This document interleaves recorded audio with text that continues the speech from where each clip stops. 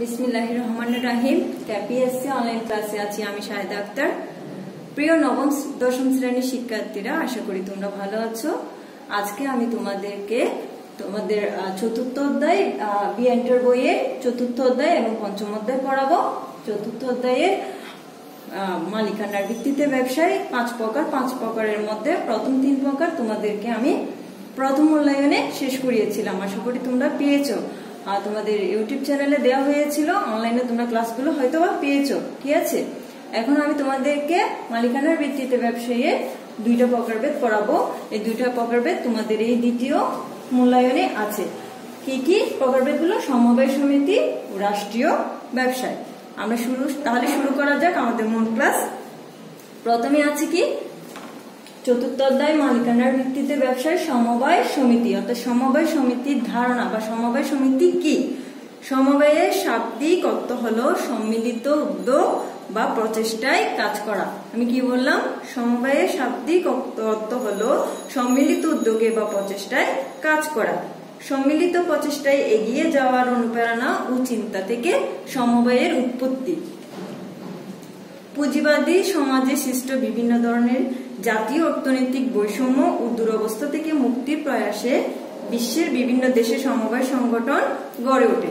সর্বপ্রথম সমবায় আন্দোলনের সূচনা হয় পশ্চিম ইউরোপ, উত্তর আমেরিকা ও জাপানে। তবে সমবায় সমিতি প্রতিষ্ঠার পথে অগ্রপতিক সংগঠন হচ্ছে আঠারোশো চুয়াল্লিশ সালে উত্তর ইংল্যান্ডের রসডেল নামক স্থানে প্রতিষ্ঠিত রসডেল সমবায় সমিতি। কেন আঠাশ জন তাঁত শ্রমিকের আঠাশ স্টার্লিং পাউন্ড পুঁজি নিয়ে প্রতিষ্ঠিত এই সমবায় সমিতিকে বিশ্বের সর্বপ্রথম সমবায় সমিতি হিসেবে গণ্য করা হয়। তোমরা এই লাইনগুলো খুব ভালো করে পড়বে, কারণ এখান থেকে অনেকগুলো এমসিকিউ হয়। সমবায় প্রথমে শুরু করা হয়েছিল কয়জন শ্রমিক তাঁতি নিয়ে? আঠাশ জন তাঁতি শ্রমিককে নিয়ে, ঠিক আছে? আচ্ছা এরপরে এই লাইনটা খুব ভালো করে দেখো। আমি কি বলছি? বর্তমানে বাংলাদেশে সমবায় সমিতি দু হাজার এক সালের সমবায় আইন এবং দু সালের সমবায় বিধিমালা অনুযায়ী পরিচালিত হচ্ছে। কত সালের আইন বলেছি? বর্তমানে বাংলাদেশের সকল সমবায় সমিতি দুই হাজার এক সালের সমবায় আইন এবং দু সালের সমবায় বিধিমালা অনুযায়ী পরিচালিত হচ্ছে। আচ্ছা এরপরে কি লিখেছি? সমবায় সমিতির বৈশিষ্ট্য। বৈশিষ্ট্য। বৈশিষ্ট্য হচ্ছে এটা কি চেনার উপায়? হ্যাঁ বৈশিষ্ট্য কি হতে পারে তাহলে? সাধারণত নির্মবিত্ত বিত্তহীন সমমনা ও পেশার ব্যক্তিবর্গগণ স্বেচ্ছামূলকভাবে এই জাতীয় সংগঠন গড়ে তুলে। সাধারণত কারা গড়ে তুলে? নিম্নবিত্ত, বিত্তহীন, সমমানা ও সমপেশার ব্যক্তিবর্গগণ নিজেরা স্বেচ্ছামূলকভাবে এ ধরনের সমবায় সমিতি গড়ে তুলে। সমবায় সমিতি সমবায়নে গঠিত একটি কৃত্রিম ও স্বতন্ত্র সত্তা বিশিষ্ট সংগঠন, যার স্থায়ী ধারাবাহিকতা থাকবে। সমিতির একটি আবার সাধারণ শিলমোহরও থাকবে। সমবায় সমিতির মূলধন সমমূল্যের কতগুলো শেয়ারে বিভক্ত থাকবে? ব্যবস্থাপনা পরিচালনার সকল স্তরে সমবায় সমিতিকে সম্পূর্ণ গণতান্ত্রিক রীতিনীতি অনুসরণ করে ব্যবসা পরিচালনা করতে হয়। এরপরে আসা যাক সমবায় সমিতির প্রকারভেদ। মূলত সমবায় স্বল্পবিত্ত নির্মবিত্ত বিত্তহীন লোকদের সংগঠন। সমবায় বিধিমালা দু হাজার চারে পেশাভিত্তিক সমবায় সমিতি সমূহ হলো কৃষক সমবায় সমিতি, মৎস্যজীবী সমবায় সমিতি, শ্রমজীবী সমবায় সমিতি, মৃৎশিল্প সমবায় সমিতি, তাঁতি সমবায় সমিতি, মহিলা সমবায় সমিতি, পরিবহন মালিক সমবায় সমিতি, হকার সমবায় সমিতি। সকল ধরনের সমবায় সমিতির মুখ্য উদ্দেশ্য হল সদস্যদের আর্থিক অবস্থার উন্নয়ন করা। কি করা? সকল সদস্যদের আর্থিক অবস্থার উন্নয়ন করা। এরপরে সমবায় সমিতির গঠন প্রক্রিয়া কীভাবে গঠিত হয়। প্রসেসটা কি? সাধারণত আইনের মাধ্যমে গঠিত বলে আইনগত নিয়ম পালনের মধ্য দিয়ে সমবায় সমিতি গঠন ও পরিচালনা করতে হয়।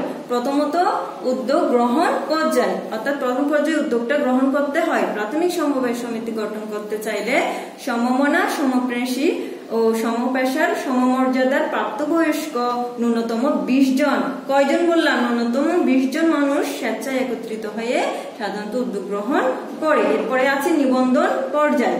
এই পর্যায়ে নিবন্ধনের উদ্যোগ গ্রহণ করতে হয়। সমিতিটি যে এলাকায় অবস্থিত, সেই এলাকায় সরকার কর্তৃক মনোনীত নিবন্ধকের অফিস থেকে নিবন্ধনের আবেদন ফর্ম সংগ্রহ করে। যথাযথভাবে নির্ধারিত ফি সহ প্রস্তাবিত আইনের তিন কপি নিবন্ধকের নিকট জমা দিতে হয়। এ গেল নিবন্ধন পর্যায়। এরপরে রয়েছে কার্যারম্ভ পর্যায়। নিবন্ধন পত্র পাওয়ার পর সমবায় সমিতি আইনগতভাবে অস্তিত্ব লাভ করে, অর্থাৎ আইনগতভাবে কাজ শুরু করতে পারে। এরপরে কি লিখেছি? সমবায় সমিতির মূলনীতি। সমবায় সমিতির প্রথম মূলনীতি হলো একতায় বল। অর্থাৎ এক্ষেত্রে প্রধান নীতি হচ্ছে সমমনা সমপ্রেশা ও অর্থনৈতিক দিক দিয়ে শ্রম শ্রেণির লোকদের একতা এরপরে রয়েছে সকলের তরে সকলে আমরা, প্রত্যেকে আমরা, পরের তরে। এছাড়া সমবায়ের আরেকটি মৌলিক আদর্শ হলো গণতান্ত্রিক মূল্যবোধ ও চেতনা। গণতান্ত্রিক মূল্যবোধ ও চেতনা। আচ্ছা এরপরে এই গেল আমার সমবায় সমিতির বৈশিষ্ট্য প্রকারভেদ, গঠন প্রক্রিয়া ও মূলনীতি। এরপরে রাষ্ট্রীয় ব্যবসায়। রাষ্ট্রীয় ব্যবসায় রাষ্ট্রীয় ব্যবসায় কি বা রাষ্ট্রীয় ব্যবসায়ের ধারণা? সাধারণত সরকার কর্তৃক গঠিত, পরিচালিত, নিয়ন্ত্রিত ব্যবসায়ীকে রাষ্ট্রীয় ব্যবসায় বলে। সাধারণত দেশে অধিক শিল্পায়ন, অধিক কর্মসংস্থান সৃষ্টি, মুদ্রা ও ব্যাংকিং, ব্যবসায় নিয়ন্ত্রণ, প্রাকৃতিক সম্পদ সহ সকল সম্পদের সুষম বন্টন ও ব্যবহারের উদ্দেশ্যে এবং বিশেষ কিছু জনকল্যাণমূলক ক্ষেত্রে রাষ্ট্রীয়ভাবে ব্যবসা প্রতিষ্ঠিত হয়ে থাকে। তাছাড়া দেশ রক্ষা ও নিরাপত্তার জন্য অস্ত্র নির্মাণ শিল্পের উপর নিয়ন্ত্রণ রাখার উদ্দেশ্যেও রাষ্ট্রীয় ব্যবসা প্রতিষ্ঠিত ও পরিচালিত হয়। আমি কি বললাম? রাষ্ট্রীয় ব্যবসা হচ্ছে সরকার কর্তৃক গঠিত, পরিচালিত ও নিয়ন্ত্রিত একটি ব্যবসায়। এরপর আসা যাক রাষ্ট্রীয় ব্যবসায়ের বৈশিষ্ট্য। অন্যান্য ব্যবসায়ের যে, রাষ্ট্রীয় ব্যবসায়ের বেশ কিছু স্বতন্ত্র অর্থাৎ আলাদা বৈশিষ্ট্য রয়েছে। সেগুলি কি কি?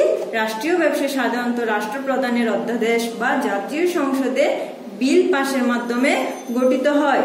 রাষ্ট্রীয় ব্যবসায়ের মালিকানা সম্পূর্ণভাবে রাষ্ট্রের উপর ন্যস্ত থাকে ও সকল মূলধন সরকারকে সরবরাহ করতে অর্থাৎ সকল মূলধন সরকারকে যোগান দিতে হয়।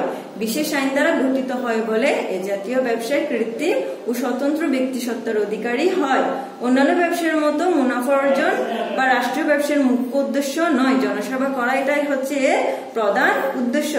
এ জাতীয় ব্যবসার সাফল্য ব্যর্থতার জন্য সরকারকে জাতীয় সংসদের নিকট জবাবদিহি করতে হয়। এই গেল রাষ্ট্রীয় ব্যবসায়ীর বৈশিষ্ট্য। তারপর হলো রাষ্ট্রীয় বাংলাদেশে কতিপয় রাষ্ট্রীয় ব্যবসা, অর্থাৎ বাংলাদেশি রাষ্ট্রীয় ব্যবসাগুলো কোনগুলা? উনিশশো একাত্তর সালে ষোলোই ডিসেম্বর স্বাধীনতা লাভের পর নতুন সরকার, জনকল্যাণমুখী সুষম ও ন্যায়ভিত্তিক রাষ্ট্র প্রতিষ্ঠার লক্ষ্যে অনেকগুলো ব্যক্তি মালিকানাধীন শিল্প, কারখানা, বাণিজ্যিক, আর্থিক ও বিমা প্রতিষ্ঠানকে জাতীয়করণ করে। অর্থাৎ সরকারি অন্তর্ভুক্ত করেন। সাথে সাথে রাষ্ট্রীয় মালিকানায়ও বেশ কিছু প্রতিষ্ঠান গড়ে তুলে। পরবর্তীতে অনেক প্রতিষ্ঠান ব্যক্তি মালিকানায় ছেড়ে দিল। অনেকগুলো রাষ্ট্রীয় ব্যবসা প্রতিষ্ঠান রয়েছে। এরকম কিছু রাষ্ট্রীয় ব্যবসায় তার ধরন এবং সেগুলো নিয়ন্ত্রণাধীন মন্ত্রণালয়ের নাম তোমাদের বইতে আছে। তোমরা ভালো করে একটু পড়ে নিবে। ঠিক আছে? তোমাদের বইয়ে ষাট পৃষ্ঠায় আছে, তোমরা এই চারটা খুব ভালো করে পড়বে। আচ্ছা প্রিয় শিক্ষার্থী এরপর আসা যাক পঞ্চম অধ্যায়। পঞ্চম অধ্যায়ের নাম কি? ব্যবসায়ের আইনগত দিক। আমরা আগেও পড়েছিলাম, বৈধ ব্যবসায়ীকে হতে গেলে অবশ্য বৈধ হতে হবে। অবৈধ কোনো কিছু ব্যবসা বলে গণ্য হয় না। তাই সেক্ষেত্রে আইনের বিষয়টি অবশ্যই গুরুত্বপূর্ণ। হ্যাঁ আমি প্রথমে লিখেছি ব্যবসায়ের আইনগত দিক, আমাদের অধ্যায়ের নাম ব্যবসায়ের আইনগত দিক। জীবিকা অর্জন ও মুনাফা অর্জনের উদ্দেশ্যে যে কোনো ব্যবসা করার অধিকার সবার রয়েছে। তবে সকল ব্যবসায় দেশের প্রচলিত আইন দ্বারা স্বীকৃত ও বৈধ হতে হবে।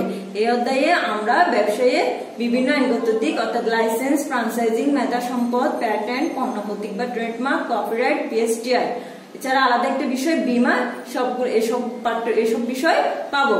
ঠিক আছে? তাহলে আমরা শুরু করি আমাদের মূল ক্লাস প্রথমে আমি কি লিখেছি শুরুতে? আমার শুরুতে লিখেছি আমি লাইসেন্স লাইসেন্স জিনিসটা কি? আমরা কম বেশি খুবই পরিচিত লাইসেন্স জিনিসটার সাথে, তবে আমাদের বইয়ে বাসায় আমরা একটু বিষয়টা আজকে পড়ব। যে কোনো ব্যবসা শুরু করার আগে সংশ্লিষ্ট কর্তৃপক্ষের কাছ থেকে অনুমোদন নিতে হয় বা নিবন্ধন করতে হয়। আর এই অনুমোদন নেওয়াটাই হচ্ছে কি? লাইসেন্স অর্থাৎ কোনো কিছু শুরু করার আগে বা কোনো ব্যবসা শুরু করার আগে সংশ্লিষ্ট কর্তৃপক্ষের কাছ থেকে যে অনুমতি বা অনুমোদন নিতে হয়, সেটাকে বলা হচ্ছে লাইসেন্স। একক মালিকানা ব্যবসায়ের ক্ষেত্রে যদি অবস্থান পৌর এলাকার ভিতরে হয় তাহলে পৌর কর্তৃপক্ষের এবং পৌর এলাকার বাইরে হলে সংশ্লিষ্ট জেলা প্রশাসনের কাছ থেকে ট্রেড লাইসেন্স সংগ্রহ করতে হয়। এটা কিন্তু একক মালিকানা ব্যবসায়ের ক্ষেত্রে।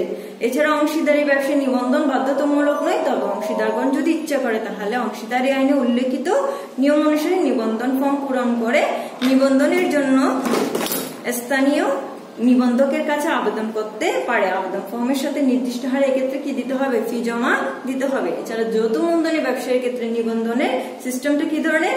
সাধারণত ক্ষেত্রে কোম্পানি আইন অনুসারে বাংলাদেশের যৌথ মূলধনী ব্যবসায় নিবন্ধন বাধ্যতামূলক হয়। এক্ষেত্রে কোম্পানি নিবন্ধকের ভূমিকা পালন করেন registered of joint stock company. প্রবর্তকগণ company আইন অনুসারে প্রয়োজনীয় দলিল সহ ফি প্রদান করে নিবন্ধকের নিকট আবেদন করেন। দলিলাদি ও প্রমাণপত্র পরীক্ষা নিরীক্ষা করে, নিবন্ধক সন্তুষ্ট হলে নিবন্ধন পত্র ইস্যু করে নিবন্ধন পত্র পাওয়ার সাথে সাথে কোম্পানি জন্ম লাভ করে। আচ্ছা এরপরে কি লিখেছি আমি? ফ্রান্সাইজিং কি লিখেছি? ফ্রান্সাইজিং ফ্রান্সাইজিং জিনিসটা কি? সম্পূর্ণ একটা নতুন বিষয়, একটু ভালো করে দেখো। কোন খ্যাতনামা কোম্পানির নাম ব্যবহার এবং এর পণ্য তৈরি, বিক্রি বা বিতরণ করার অধিকারকে ফ্রান্সাইজিং বলে। কি বলেছি? কোন খ্যাতনামা কোম্পানির নাম ব্যবহার এবং এর পণ্য তৈরি, বিতরণ বা বিক্রি করার অধিকারকে ফ্রান্সাইজিং বলে। এ ধরনের ব্যবসায়ের উদাহরণ হল পিৎজা হাট ক্যাপসি ক্যান্টাকি ইত্যাদি। ফ্রান্সাইজিং ব্যবসায়ী সাধারণত দুইটি পক্ষ থাকে, এক পক্ষে থাকে ফ্রান্সাইজর আর এক পক্ষ হচ্ছে ফ্রান্সাইজিং উদাহরণস্বরূপ বলা যায়, আমেরিকার ক্যাপসি হচ্ছে ফ্রান্সাইজর এবং বাংলাদেশের ট্রান্সকম লিমিটেড হচ্ছে ফ্রান্সাইজিং কি বলেছি আমি? আমেরিকার কোম্পানি অর্থাৎ ক্যাপসি হচ্ছে ফ্রান্সাইজার এবং বাংলাদেশের ট্রান্সকম লিমিটেড হচ্ছে ফ্রান্সাইজি হ্যাঁ প্রিয় শিক্ষার্থীরা, এরপরে আমি কি লিখেছি? এরপরে আমি লিখেছি মেধা সম্পদ। অর্থাৎ মেধা সম্পদ জিনিসটা কি? হ্যাঁ মনন ও মেধা দ্বারা সৃষ্ট কাজে হচ্ছে মেধা সম্পদ। কি বলেছি? মনন ও মেধা দ্বারা সৃষ্ট কাজে হচ্ছে মেধা সম্পদ। শিল্প বা ব্যবসা উদ্যোক্তার মেধা সম্পদ বলতে ওইসব মূল্যবান সম্পদকে বোঝায় যা সে দীর্ঘদিন প্রচেষ্টা চালিয়ে উদ্ভাবন করেছে। মেধা সম্পদকে কাজে লাগিয়ে মানুষ জয় করেছে সৃষ্টির অজানা অনেক রহস্য। সম্ভব করে তুলেছে অনেক অসম্ভবকে। এসব সম্পদের মধ্যে রয়েছে, এসব মেধা সম্পদের মধ্যে রয়েছে কি? প্যাটেন্ট ট্রেডমার্ক কপিরাইট কি? এসব মেধা সম্পদের মধ্যে রয়েছে প্যাটেন্ট ট্রেডমার্ক কপি রাইট সারা বিশ্বের মতো বাংলাদেশে ছাব্বিশ এপ্রিল বিশ্ব মেধা সম্পদ দিবস হিসেবে পালিত হয়। এটা তোমাদের এমসিকিউতে অনেকবার আসে যে কত তারিখে বিশ্বব্যাপী মেধা সম্পদ দিবস পালিত হয়। এটা হচ্ছে ছাব্বিশে এপ্রিল। এরপরে আসে যে প্যাটেন্ট প্যাটেন্ট জিনিসটা কি? প্যাটেন্ট হলো, আমি আগেও বলেছি প্যাটেন্ট হচ্ছে একটা এক ধরনের মেধা সম্পদ। প্যাটেন্টের মাধ্যমে রূপ আবিষ্কারের জন্য আবিষ্কারককে তার স্বীকৃতি স্বরূপ একটি নির্দিষ্ট সময়ের জন্য একচেটিয়া মালিকানা প্রদান করা হয়। এক্ষেত্রে পণ্য বা সেবার উদ্ভাবক বা আবিষ্কারক ও সরকারের মধ্যে চুক্তি হয়। আবিষ্কারককে প্যাটেন্টটি প্রদানের অর্থ হলো এই নির্দিষ্ট সময়ে অন্য কেউ এটি তৈরি কিংবা ব্যবহার বা বিক্রয় করতে পারবে না। বাংলাদেশে উনিশশো এগারো সালের প্যাটেন্ট ও ডিজাইন আইন চালু রয়েছে কত সালে? উনিশশো এগারো সালে প্যাটেন্ট ও ডিজাইন আইন চালু রয়েছে। এরপরে পণ্য, প্রতীক বা ট্রেডমার্ক পণ্য, প্রতীক বা ট্রেডমার্ক জিনিসটা কি? ব্যবসায়ী ক্ষেত্রে কোনো পণ্যকে, অনুরূপ অন্য পণ্যের থেকে আলাদা করে রাখার জন্য ব্যবহৃত প্রতীককে বলা হয় ট্রেডমার্ক বা পণ্য প্রতীক। কি বলেছিলাম? ব্যবসার ক্ষেত্রে কোনো পণ্যকে অন্যের অনুরূপ বা অভিন্ন পণ্য হতে স্বতন্ত্র আলাদা করে চেনার জন্য ব্যবহৃত প্রতীককে ট্রেডমার্ক বা পণ্য প্রতীক বলে। যেমন ডিভাইস ব্র্যান্ড শিরোনাম লেবেল টিকেট নাম স্বাক্ষর শব্দ, অক্ষর, প্রতীক, সংখ্যাযুক্ত উপাদান, রঙের সমন্বয়, এগুলো বা এগুলোর যে কোনো রূপ সমন্বয় প্রতীকের অন্তর্ভুক্ত হবে।